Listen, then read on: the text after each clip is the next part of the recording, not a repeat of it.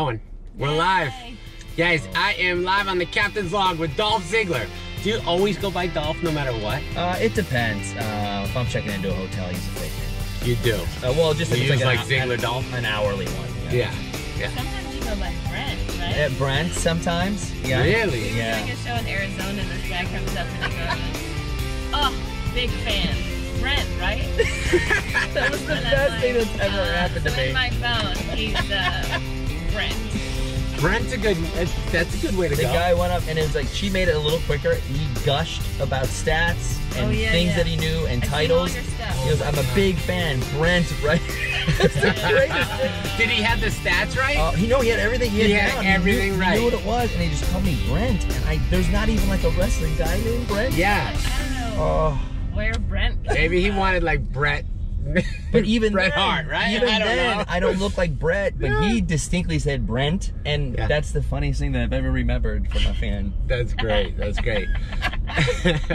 Brett, so, right? literally, you just told me you were five and you decided you want to be a wrestler. Yeah. But the difference was is that you obviously were wrestling not WWE style.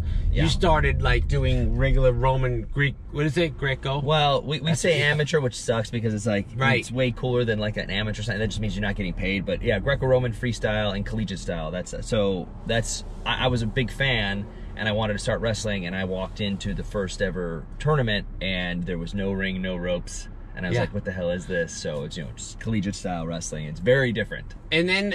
And then, and you actually wrestled all through college. You were a Yep. re- college wrestler, which Yeah. is super cool. Five years old through college, and then uh, I mean, I uh, while waiting to get a tryout, I had a couple little odd jobs, but I mean, basically been doing this my whole life. All right, so fast forward, you get the tryout because that's interesting.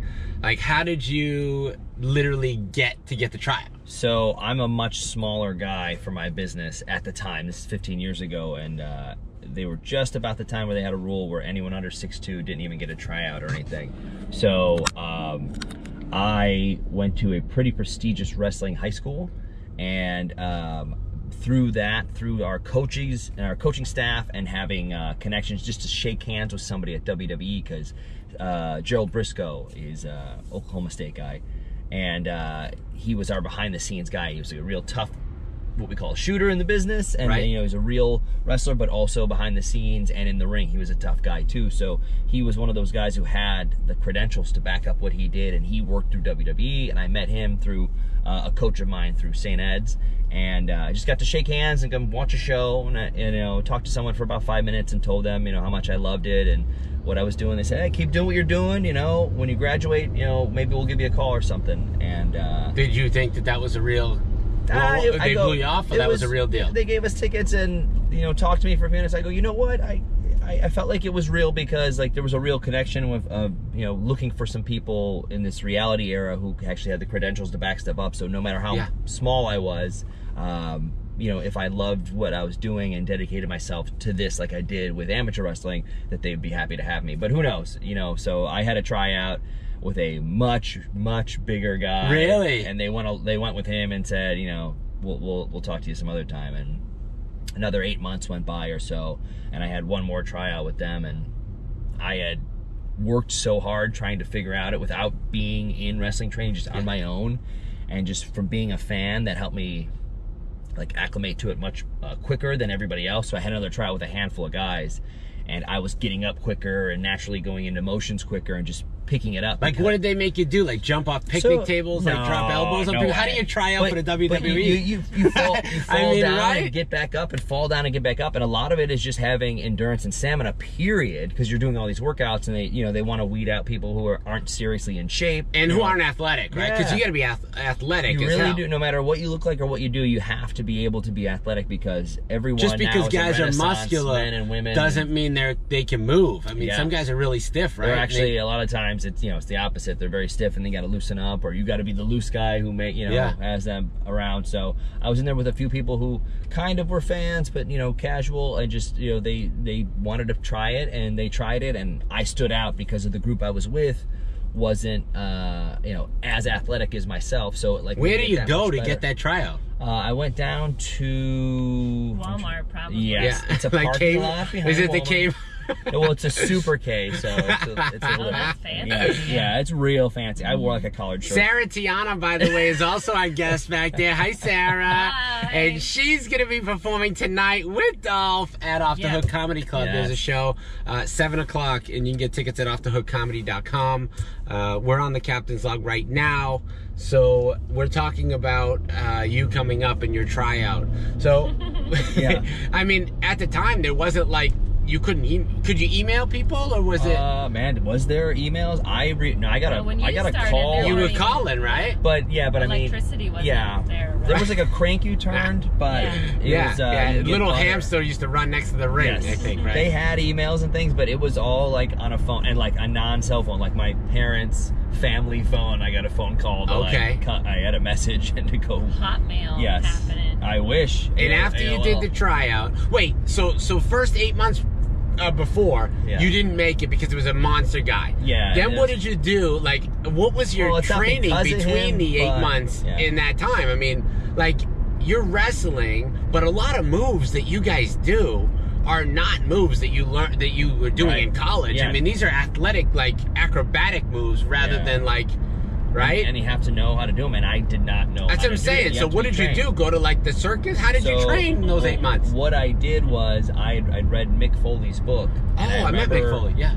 He uh, was throwing himself, jumping over the hood of his car, and landing on his back in his front yard.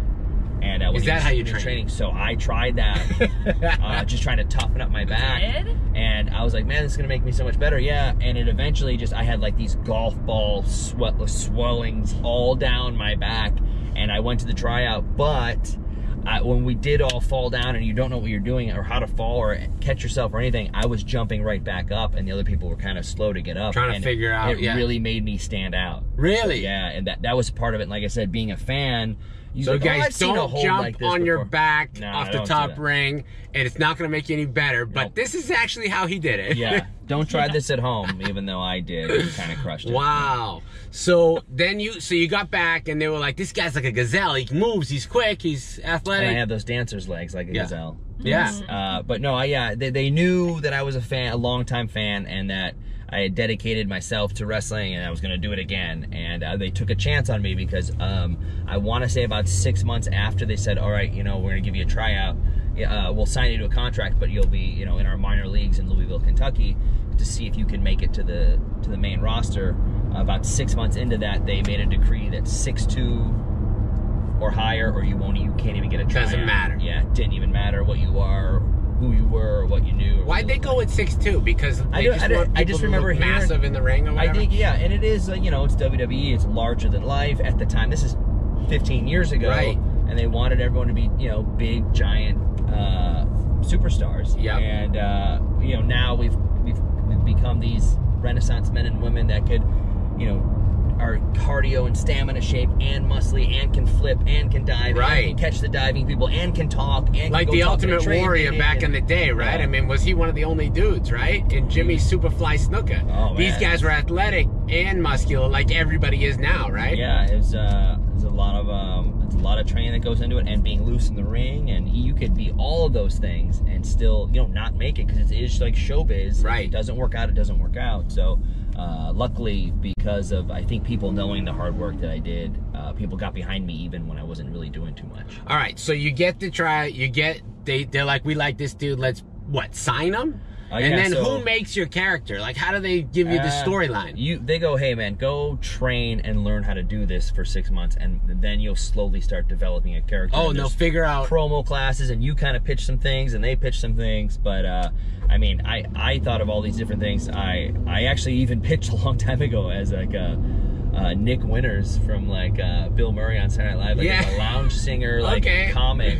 But, but that was a time where you were pitching crazy characters. Now it's more, it's very real, and you're uh, this guy. You know, people know me not as some, not as a caddy or a, a cheerleader, as I actually one of the characters I was. They just know me as like, oh, he's a guy who works hard and is awesome at his job, but always almost wins the big one. Like you become like these real life characters Yeah. because you're, you know, half of you or more is is invested in this. But at the time, you're pitching crazy stuff to get noticed and uh, just working on falling down and tucking your chin and trying to be smooth as smooth and loose as you can be because even someone like me who was a fan and picked it up quickly was so used to like not showing emotion in amateur wrestling. You break your arm in a match, you don't let anyone know about it, you know, and here Yeah, it's how- now has that happened? Did that happen to you? I've had my shoulder go out before Oh in God. college, and you just had to like bite down on your teeth and get through the match, and because the uh, your opponent knew they could kind of just kind of go with it, so Yeah. you or you'd have to stop the match or something. So you got to this point where you got to learn to let everybody see what you're doing because you're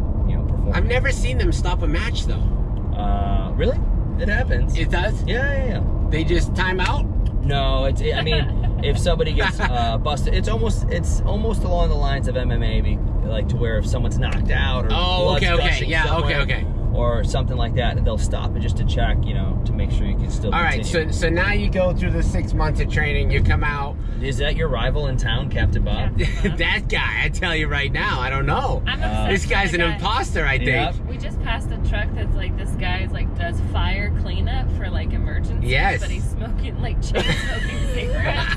And like, Welcome to Florida. Welcome to this guy Florida. creating the problem so that he can solve it. It's an inside job. Yeah, I like that. Uh, Guarantees he always Sorry. has I need to work. Oh, there he is. There he There is. is, Really? the fire service. guy. See? He's smoking. Man picking his nose. Yay. So you get the so Yeah. six months. Did you did you learn? Obviously, you learned a crap load during those six months. But how did you feel athletically? Like, were they were they doing way more training than you normally did, or No, I, I feel like I've had uh, the stamina I've had from. I went to a pretty cool, uh, pretty awesome high school, St. Ed's, and uh, there in, in Cleveland, Ohio, where we were pushed to be in the best possible shape all year round to wrestle and do other sports to where I feel like I kept that with me my whole life because I never Right. stopped training like that.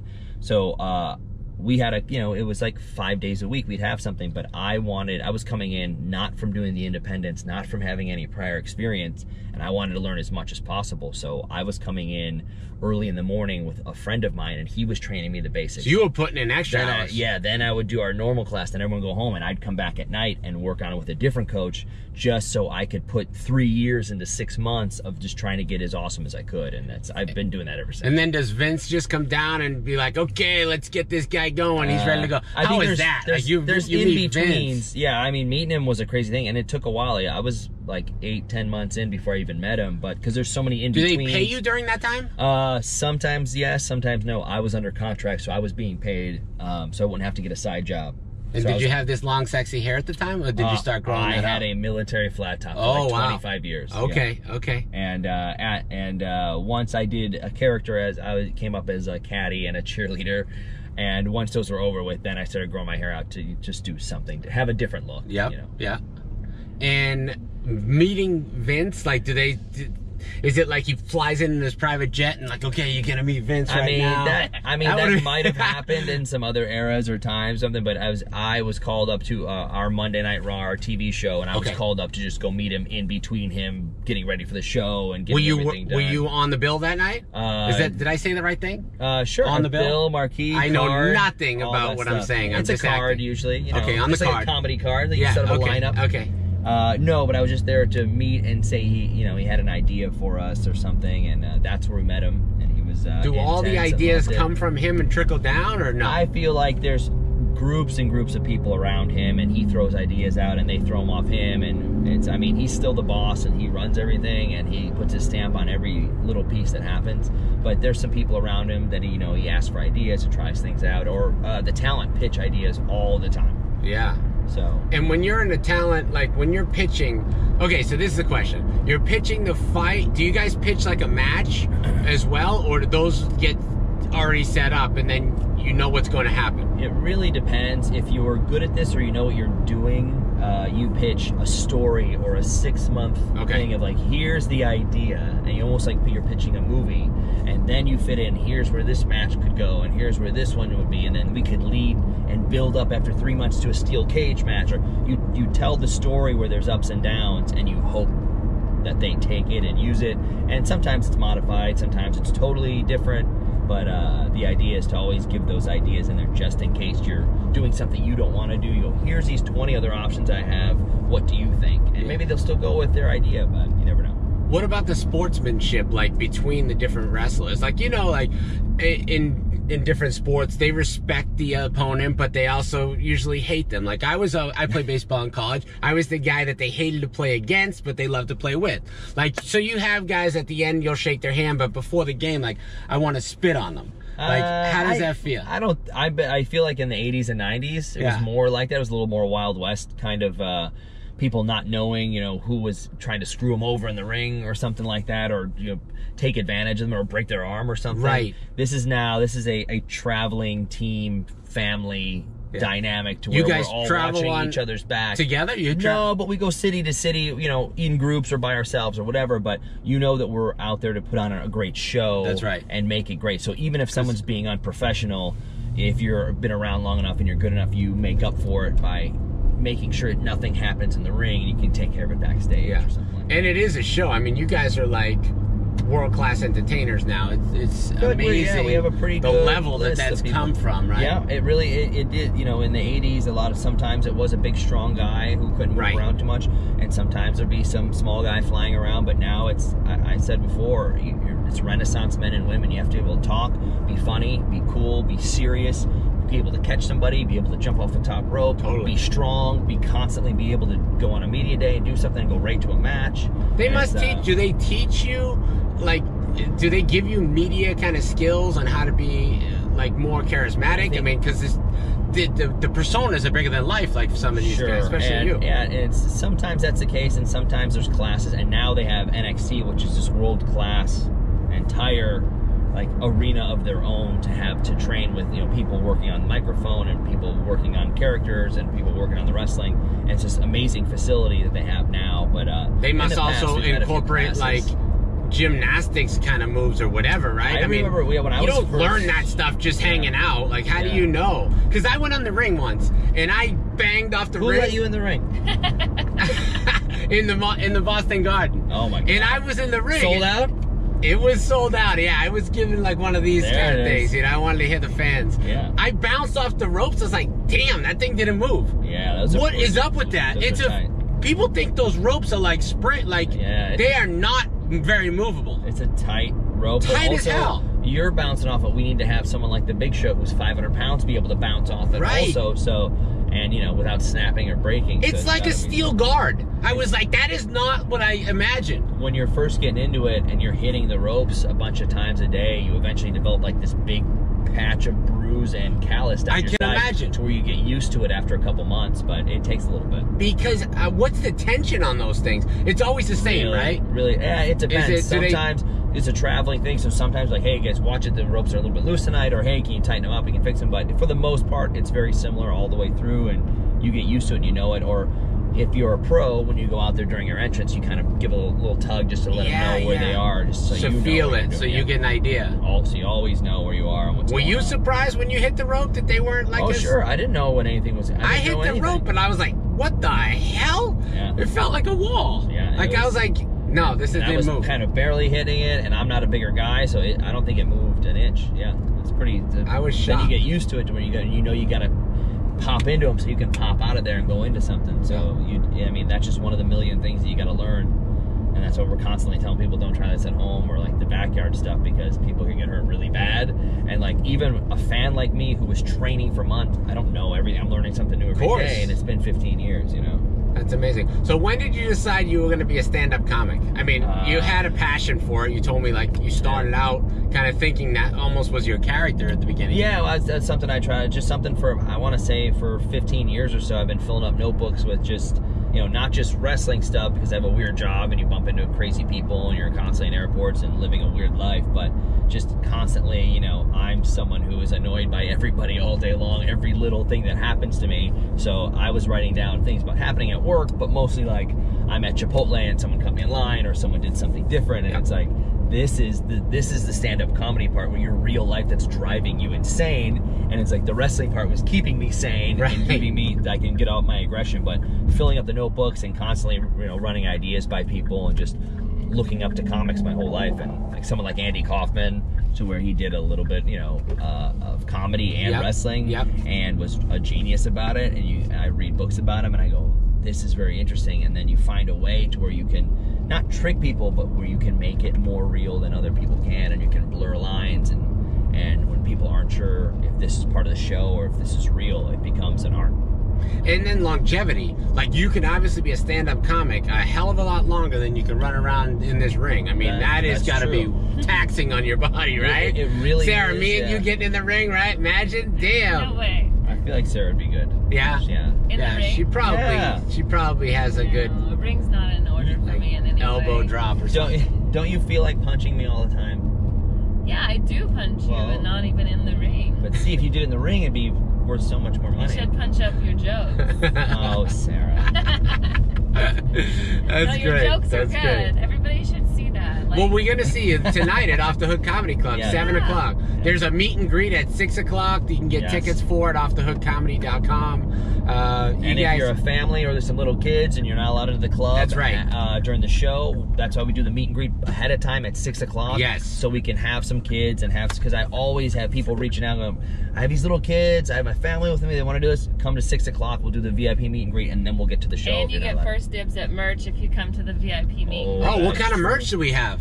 I'm Well, wearing a shirt he's right wearing- now. This is the Oh, hey. DZ, Sarah, Tiana, I- rock I and roll cupcake it. one. I love it. Yeah. we have Yes. shirts and hats and uh it's it's really cool because uh with WWE I don't have a lot of cool merchandise so Mhm. I went out and made my own. And Good. It's my favorite stuff and my fans dig it and I dig it and that's the most important part. That's the way to go because then you get to meet. If people feel more uh, like they're satisfied. They got the whole package when they get merch and everything. yeah, it's show. cool. Yeah, and it's, it, it shows that you're like not just you know going to WWE shows, you're coming to these comedy shows are always really fun. And, uh, the VIP meet